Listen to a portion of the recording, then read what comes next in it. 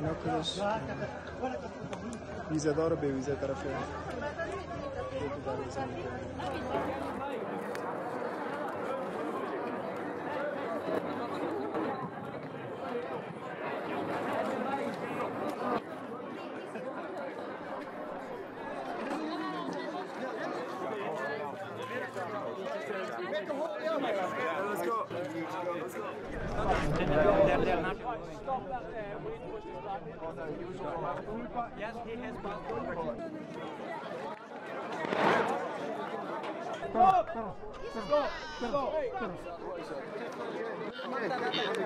We were living in Herat and we escaped from Herat and came to Kabul city to save our life because also my uncles worked with the Taliban and they wanted to uh, oblige us to forced marriage. My mother was the teacher of students in eighth class, the boys. Yeah. The Taliban doesn't uh, don't let her to teach the boys, and now uh, she doesn't work. My mom.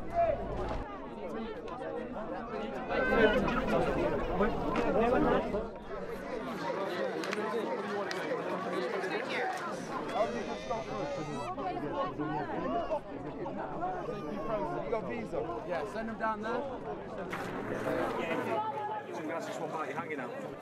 French, French, French. French.